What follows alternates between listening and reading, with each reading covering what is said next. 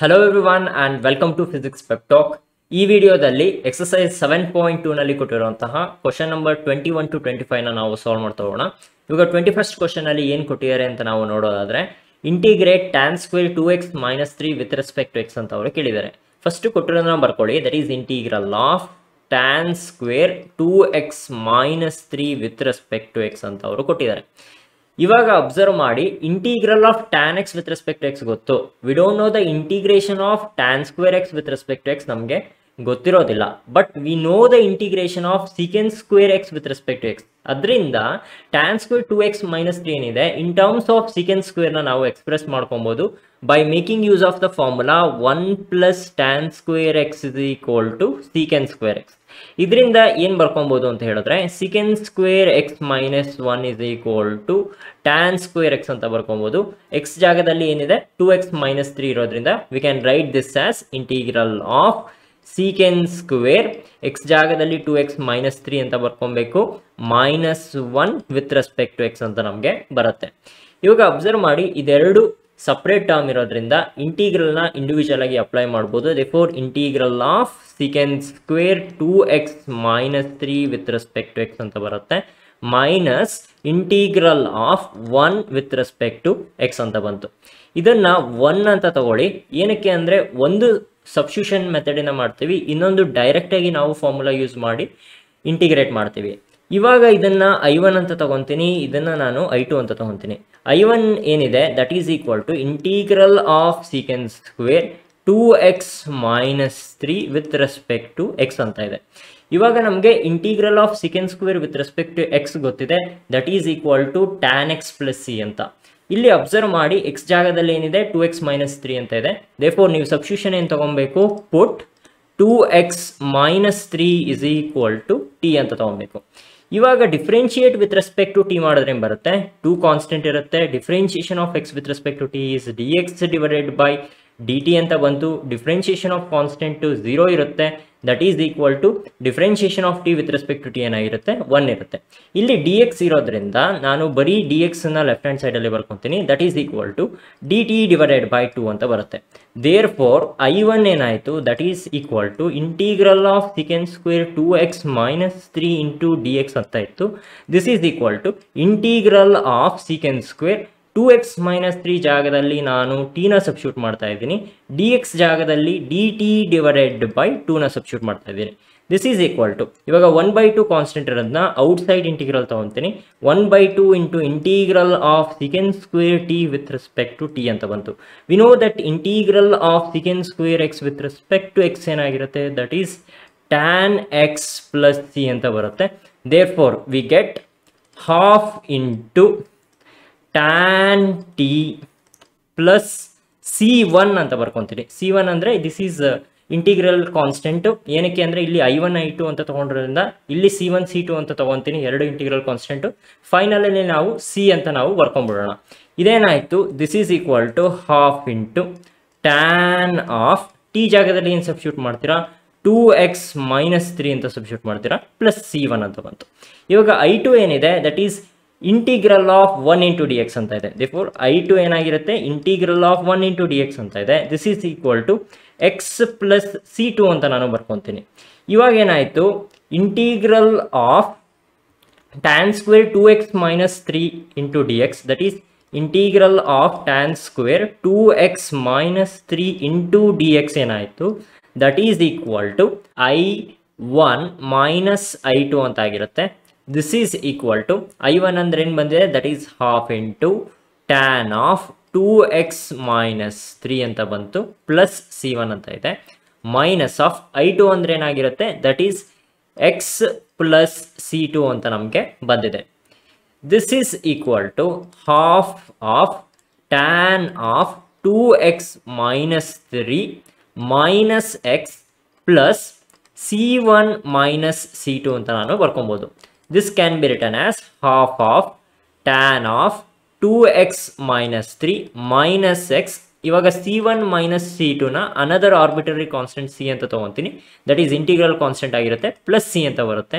ಇದು ನಮಗೆ ಬೇಕಾಗಿರುವಂತಹ ರಿಕ್ವೈರ್ಡ್ ಆನ್ಸರ್ ಆಗಿರುತ್ತೆ. ಇವಾಗ ಟ್ವೆಂಟಿ ಸೆಕೆಂಡ್ ಕ್ವಶನಲ್ಲಿ ಏನು ಕೊಟ್ಟಿದ್ದಾರೆ ಅಂತ ನೋಡೋಣ. Integrate secant square seven minus four x with respect to x ಅಂತ ಇದೆ. ಇದು ಯಾವ ಫಾರ್ಮಲ್ಲಿ ಇದ್ದಂಗಿದೆ? That is integral of secant square x with respect to x ಫಾರ್ಮಲ್ಲಿ ಇದ್ದಂಗೆ ಇದೆ. This is equal to tan x plus c ಅಂತ ನಮಗೆ ಬರುತ್ತೆ.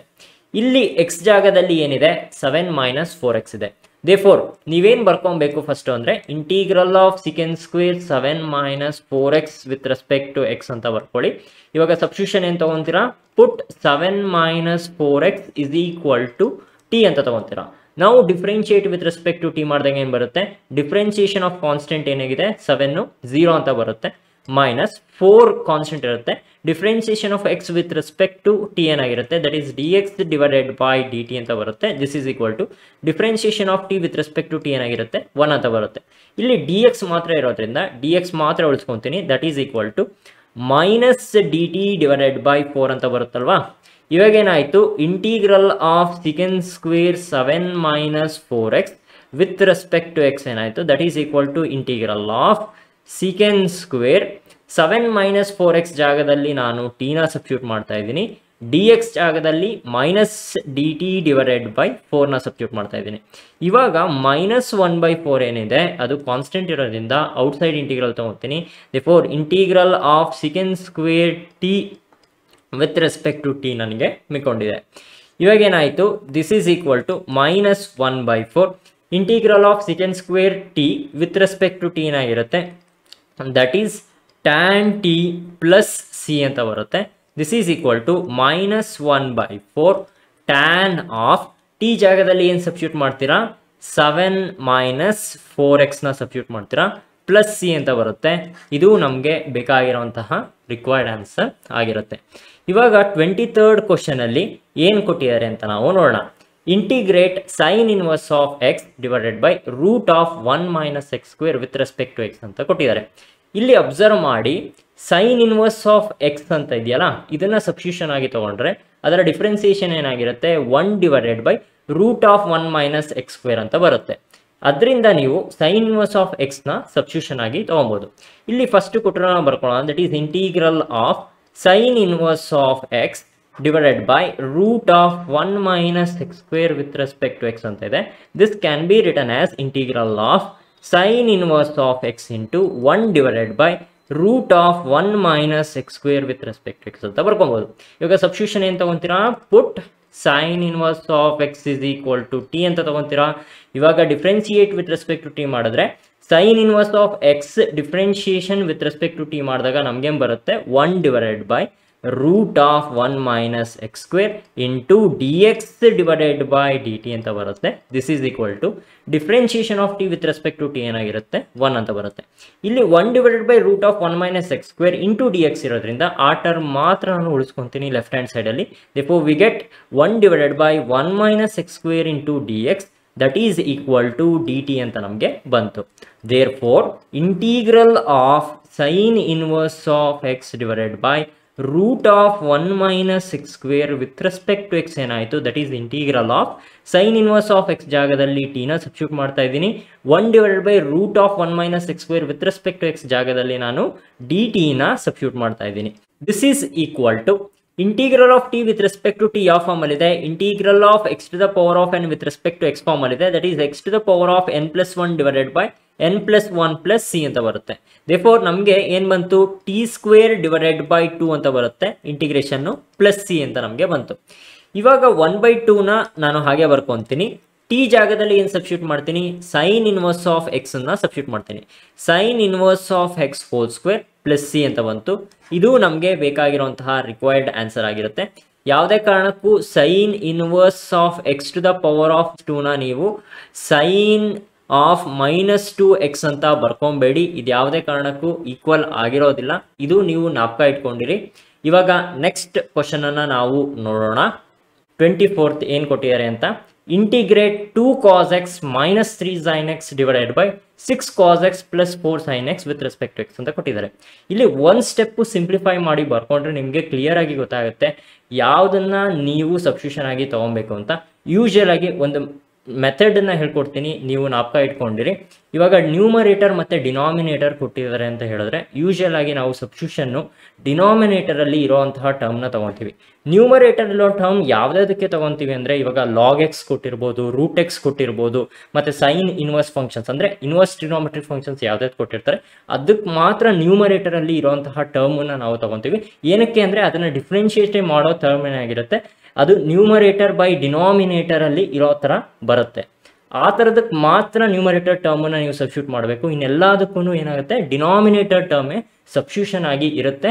ಈ ಒಂದು ಟ್ರಿಕ್ನ ನೀವು ನಾಪ್ಕ ಇಟ್ಕೊಂಡಿರಿ. ಈ ಟ್ರಿಕ್ನ ನಾಪ್ಕ ಇಟ್ಕೊಂಡಿದ್ರೆ ನೀವು ಈಸಿಯಾಗಿ ಸಾಲ್ವ್ ಮಾಡ್ತಾ ಹೋಗೋದು ಇವಾಗ ಕೊಟ್ಟಿರೋದನ್ನ ಬರ್ಕೊಳ್ಳಿ. Integral of two cos x minus three sine x divided by six cos x plus four sine x ಅಂತ ಅವರು ಕೊಟ್ಟಿದ್ದಾರೆ. ವಿತ್ ರೆಸ್ಪೆಕ್ಟ್ ಟು ಎಕ್ಸ್ ಇವಾಗ ಡಿನಾಮಿನೇಟರ್ನ ಟರ್ಮನ್ನ ನೋಡಿ. ಅದರಲ್ಲಿ ಏನು ಕಾಮನ್ ತೊಗೊಬೋದು? ಟೂನ ಕಾಮನ್ ತೊಗೊಬೋದು. ಅದರಿಂದ ಏನು ಬರ್ಕೊತೀನಿ ಅಂದರೆ integral of two cos x minus three sine x divided by ಇಲ್ಲಿ ಟೂ ಕಾಮನ್ ತೊಗೊಂಡ್ರೆ ಇಲ್ಲೇನು ಮಿಕ್ಕೊಳ್ಳುತ್ತೆ? That is three cos x plus two sine x ಅಂತ ಬರುತ್ತೆ. ವಿತ್ ರೆಸ್ಪೆಕ್ಟ್ ಟು ಎಕ್ಸ್ ಅಂತ ಬಂತು. ಅಗೈನ್ ಇದನ್ನ ನಾನು ಸ್ವಲ್ಪ ಸಿಂಪ್ಲಿಫೈ ಮಾಡಿ ಬರ್ಕೊತೀನಿ. That is integral of two cos x minus three sine x divided by two ಹಾಗೆ ಇಟ್ಕೊತೀನಿ. ಇವಾಗ three cos x plus two sine x ಇದೆಯಲ್ಲ, ಇದು ರೀಅರೇಂಜ್ ಮಾಡಿ ಬರ್ಕೊತೀನಿ.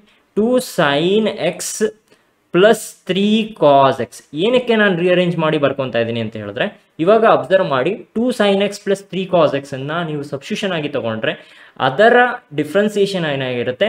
That is two cos x minus three sine x ಅಂತ ಬರುತ್ತೆ. Therefore substitution ಏನು ತಗೊಂತೀರಾ? Put two sine x plus three cos x that is equal to t ಅಂತ ತಗೊತೀರಾ. ನಾವು differentiate with respect to t ಮಾಡಿದ್ರೆ ಏನು ಬರುತ್ತೆ? ಟೂ ಕಾನ್ಸ್ಟೆಂಟ್ ಇರುತ್ತೆ. Differentiation of sine x with respect to t ಏನಾಗಿರುತ್ತೆ? That is cos x into d x divided by d t ಅಂತ ಬರುತ್ತೆ.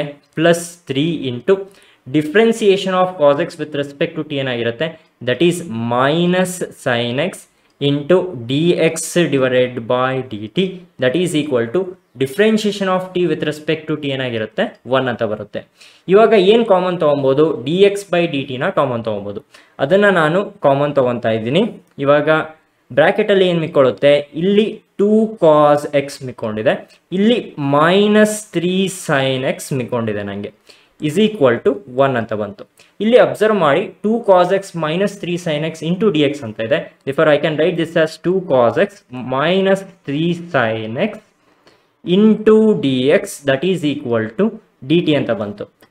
Therefore integral of two cos x minus three sine x divided by six cos x plus four sine x with respect to x ಏನಾಯಿತು? That is equal to integral of ಇವಾಗ one divided by two outside ತೊಗೊತೀನಿ, ಅದು constant ಇರೋದ್ರಿಂದ. ಇಲ್ಲಿ two cos x minus three sine x into d ಎಕ್ಸ್ನ ನಾನು d t ಅಂತ ನಾನು ಬರ್ಕೊತೀನಿ. ನನಗೆ ಇನ್ನೇನು ಮಿಕ್ಕೊಂಡಿದೆ? One divided by two sine x plus three cos x ಅಂತ ಇದೆ.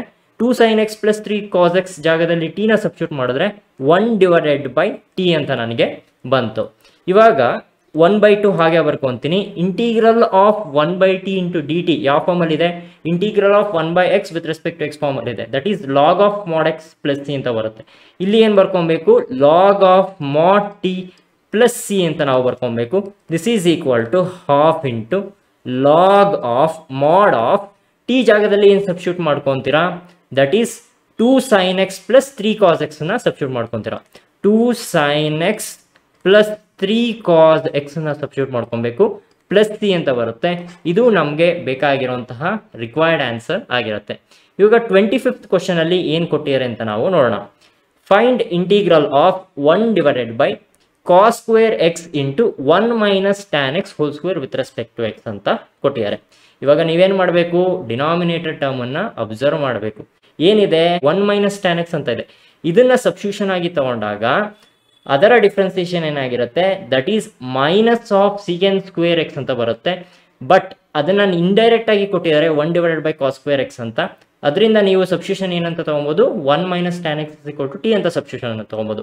ಇದನ್ನ ಯಾವ ಥರ ಬರ್ಕೊತೀನಿ ಅಂತ ಅಬ್ಸರ್ವ್ ಮಾಡ್ತಾ ಹೋಗಿ. One divided by cos square x one minus tan x whole square with respect to x ಅಂತ ಕೊಟ್ಟಿದ್ದಾರೆ.